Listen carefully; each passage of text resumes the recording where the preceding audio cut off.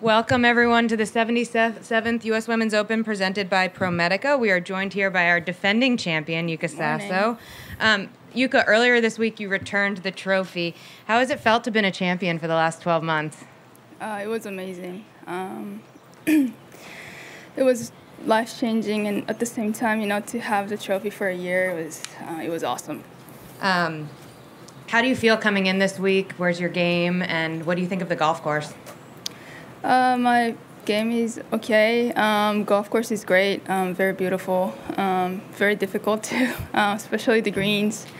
Um, there's a lot of falls off. Um, so yeah, I think it's going to be a great challenge for all of us. What do you think is going to be the key for you this week? Uh, play good golf. yeah. Is it weird standing next to your massive face right there? Yeah. uh, it's all right. I mean, I'm happy. Just like I, I feel shy a little. Steve? That was going to be my question. You've got your picture here. your picture is on the elevator of my hotel. Oh. Uh, no, it's on the front door. I mean, it's, it's been everywhere. How has how has that made you feel? Hope that doesn't um, make you tired looking at me. uh, yeah, it feels great. Um, I I just feel shy a little, um, but yeah, I'm grateful for everything that USGA has done. Um, you know, it's a lifetime changing and also once in a lifetime um, experience. So yeah, it was awesome. It's awesome. What has the biggest surprise been in the last year? Biggest surprise Surprise.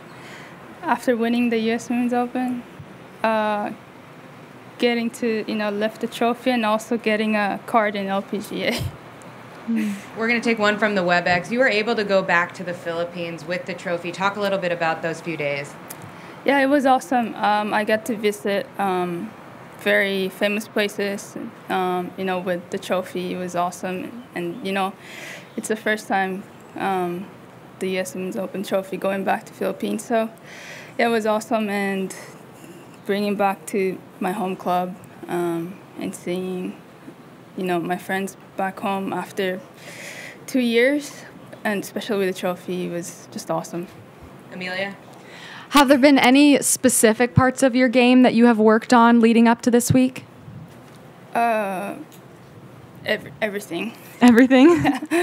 Yeah, in US, I think in US Open you need everything, um, not just one part of your game. I think everything has to be good. and what about like the mental side, being defending champion? Do you feel any added pressure and how have you kind of dealt with that? Um, I just want to enjoy and um, you know have fun and you know. I actually don't know. I, I don't even know if I'm nervous or not.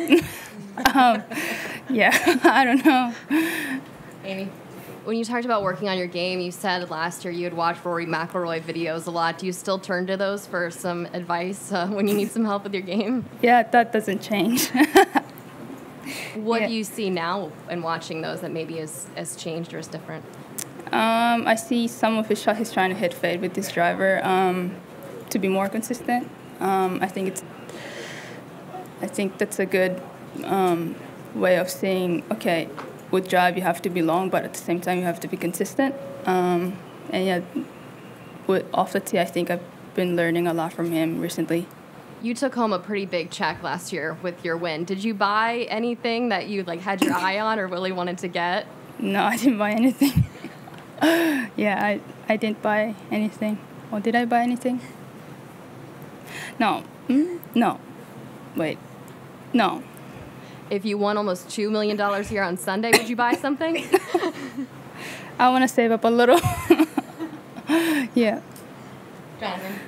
So Pine Needles the last two players to rep- repeat did it here. Do you feel a change perception of you maybe coming into this? Uh, I wouldn't compare myself to, you know, Annika and um, Carrie Webb. They're awesome players. They're, they're legends. So, um, I, I mean, I, I would do my best, but whatever the outcome is, I'll be grateful. Is there a mindset change knowing that there's a lot of people sort of mentioning your name to win this? What's that?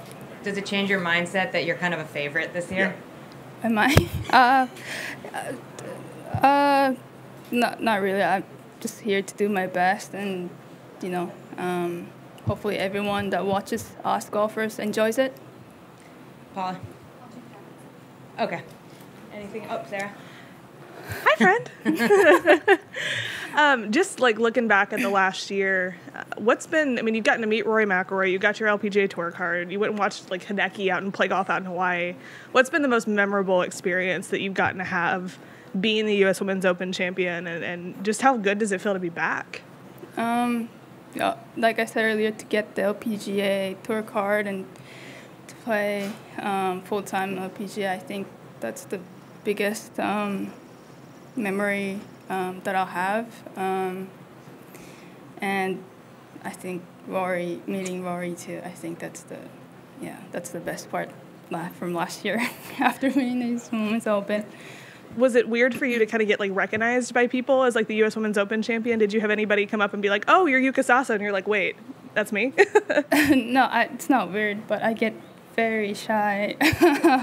but it feels awesome um, calling by people, you know, oh, you're the US Women's Open champ. Um, at some point last year, they started calling me champ or US Women's Open champ, not by my name. Um, I mean, it's awesome, but I thought like maybe you could call my name first and say you're the US Women's Open champ. But this year it's been good, so that's really awesome.